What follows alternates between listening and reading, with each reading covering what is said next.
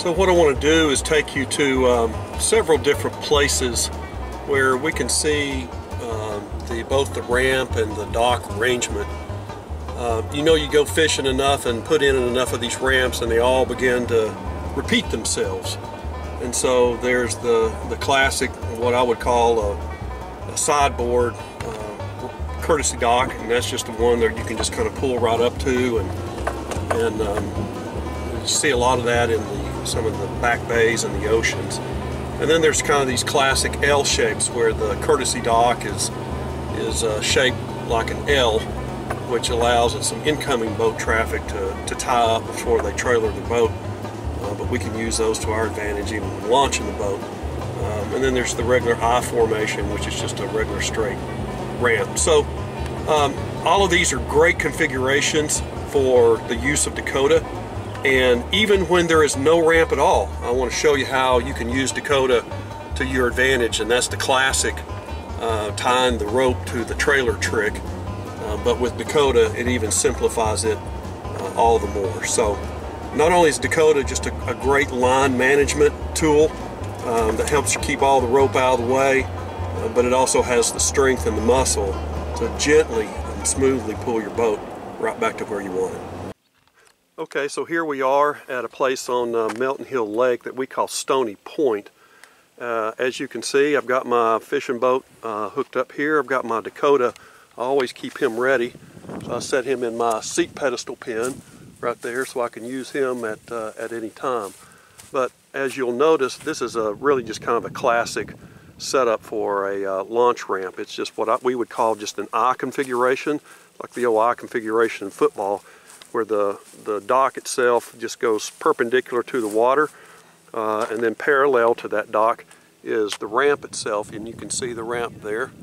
Um, and this is a really uh, easy place for Dakota to use. You probably got about a, oh, I don't know, I would say that's a good uh, 40 to 50 feet between that uh, guide post over there and the edge of the ramp. So this is a perfect spot to use Dakota.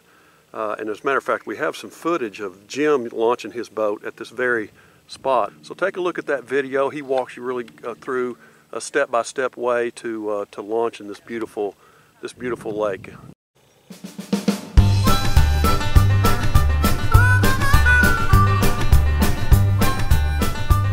Hello, my name is Jim and today I want to show you how to launch your boat using a Dakota boat retriever by yourself.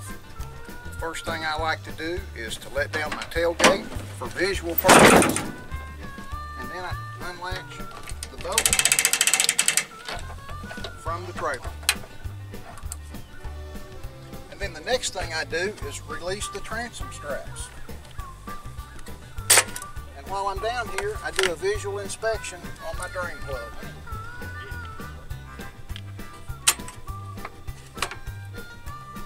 Release my motor.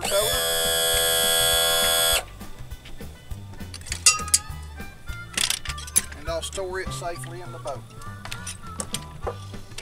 Okay, so today the ramp is on my starboard side of the boat and I'm going to use a 1000 HD Dakota. I've got my rope stop set at two feet to stop the rope retract and let's go launch.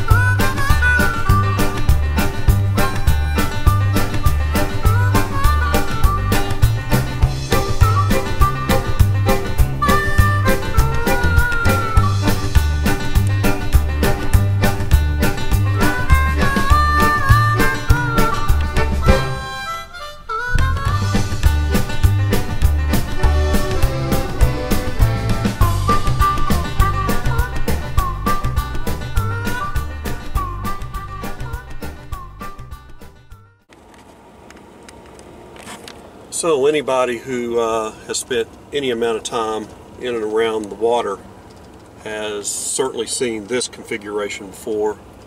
This is just a classic end of the road ramp leading into the water. Um, there's just nothing here but basically a little bit of asphalt for the uh, for the ramp and a trash can put your trash in. But that's the ramp right there. Uh, there's really nothing to um, uh, there's no courtesy dock or anything, so the question is, what does a fella do? Well, let me show you how we would solve this problem with Dakota.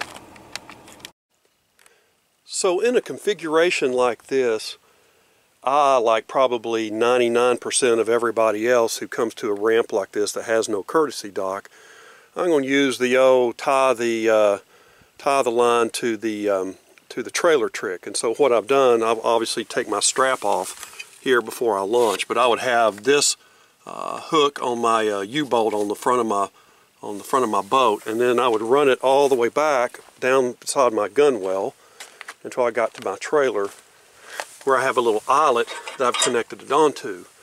But with Dakota, I don't need this anymore. And, and in this situation, you can tell I've got some pretty rough concrete right here, uh, which is really hard on the bottom of the boat. But I've noticed to the left over here, I've got a nice sandy bottom and not too far in the distance. I've even got a post over there. Can probably use that to my advantage. Certainly with the Dakota, I can use any of this little brush right here to my advantage to pull the, the boat up, or I can pull it back up on the dock or on the ramp right here where people uh, normally would. I think I'm going to try to use that post right over there because uh, I like the dirt down at the low spot.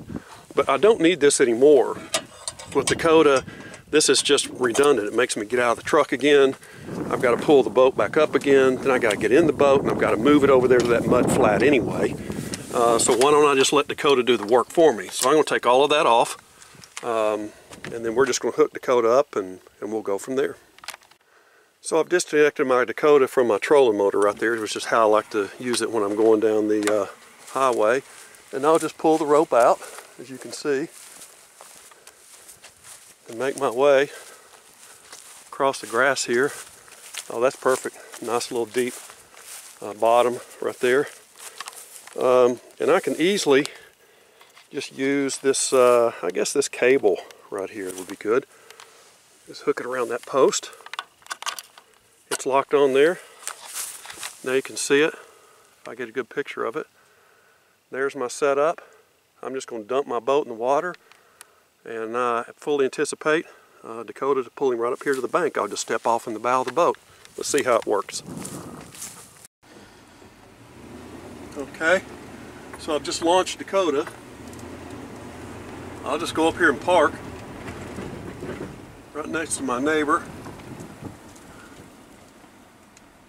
I'll just sit right here and film and see what happens.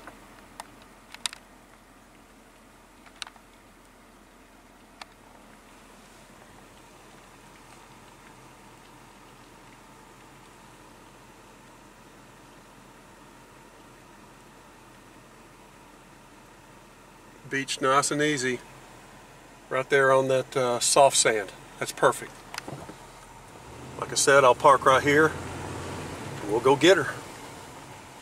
Okay, so here we are. Um, the boat obviously made it up to the bank. It's still attached to uh, my post right over here. So again, all I have to do is just to simply disconnect it from the uh, line that I didn't even know was there before I even got here. Let it retract all the way down to the boat.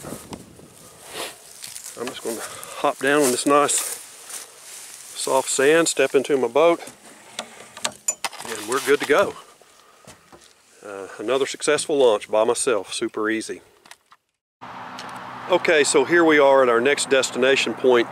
Uh, we actually call this uh, Solway Ramp and um, we made a number of videos at this ramp but it's a good one to point out. Uh, number one it has an L-shaped ramp to it. As you can see the um, uh, I'm sorry it has an L-shaped courtesy dock to it. As you can see it's, it's it's right there. And then it has a double ramp. It has a double car ramp. We have launched here uh, many times and have as I mentioned had made several videos here And probably one of the best videos we made here was with uh, uh, David Hodson, and he was explaining how he was going to use Dakota at this very spot to launch his 21-foot uh, nitro bass boat. So let's just turn it over to David and let him show us how to do it right here at this ramp.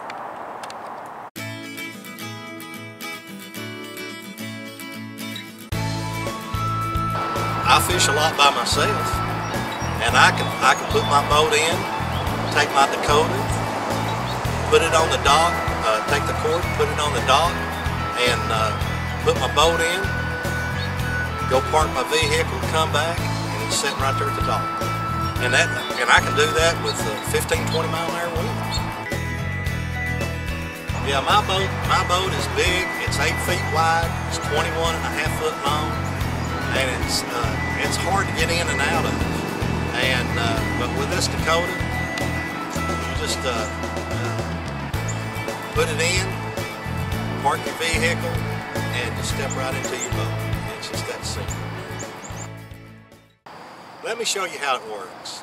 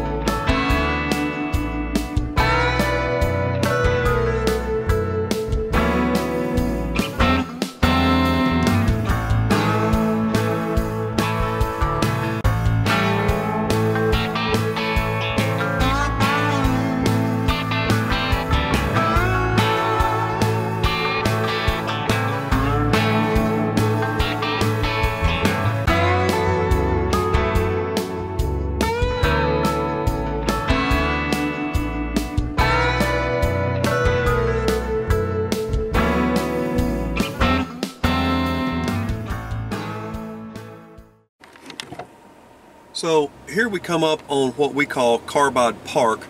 This is a really good uh, example of the different configurations of ramps and docks that you'll find. In this particular case, the, uh, the ramp is a double ramp. It's right out here on the point of a peninsula. And then it has two courtesy docks that are about 180 degrees uh, from each other. As you can see, they've got one courtesy dock over here on the right uh, and then another one over here on the left. And for those of you who keep up with us, you'll this uh, particular ramp will look familiar. We've done another of shoots here. I think the thing that's interesting about this particular um, uh, boat ramp um, is the large riprap rock that you'll find right around this point. I'll hop out of the truck here and give you a shot of it and then we'll let uh, uh, I think uh, a couple of our videos point to how you can launch even in this situation. Okay, so here we are again. This is the uh, right hand side uh, courtesy ramp. Large riprap rock right there. Uh, you certainly wouldn't want your boat to get up in that. and then we have the same rock barrier protecting this um, this point. And if we get some pretty big winds that come right in here in this particular hole of water, uh, but these are certainly just kind of I configuration ramps perpendicular to the water. But the interesting thing is you have to negotiate this big long. And Dakota handles this very well, as you'll see in uh, a couple of these short clips uh, that I'll show you.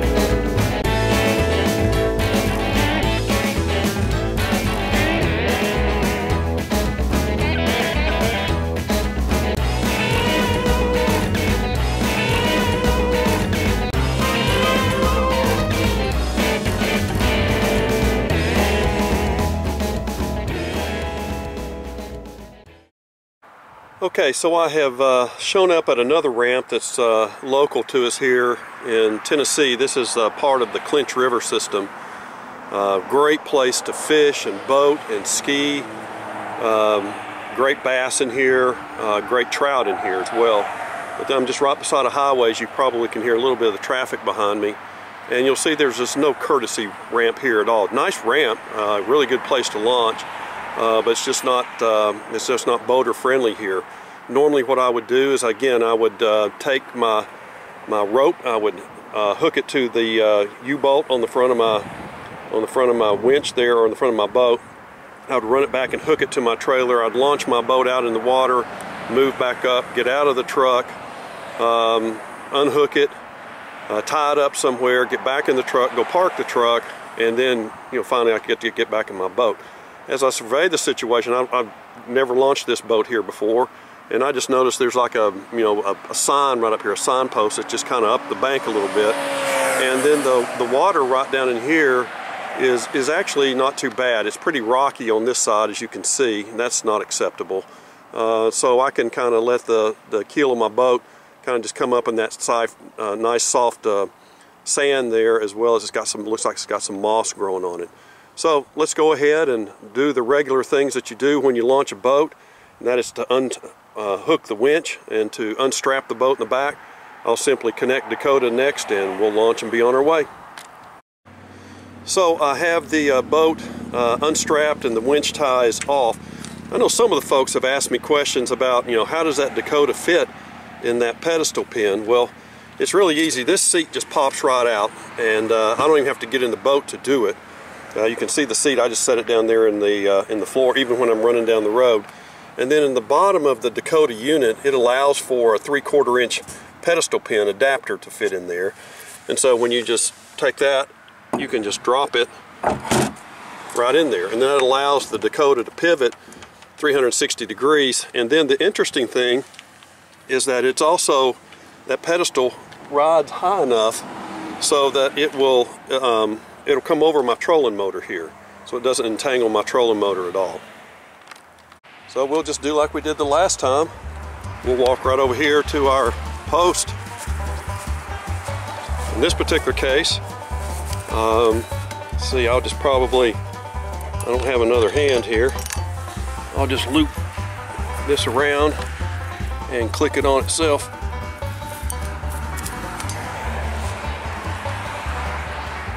and we're ready to launch. It's just that simple.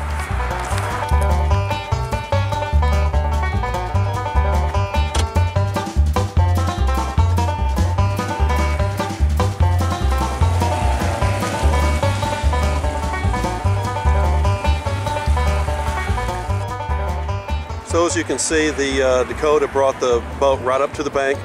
Uh, it's just right in that nice gravelly area. Nothing's hitting on the uh, on the motor or not and then the line is nice and taut all the way up here to my uh, just a post.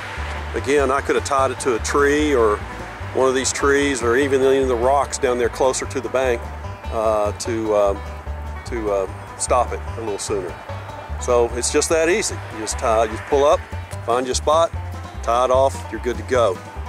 At this point, my truck is parked and I didn't take up the ramp and um, um, so that other folks uh, can now get in and use the ramp. There you go.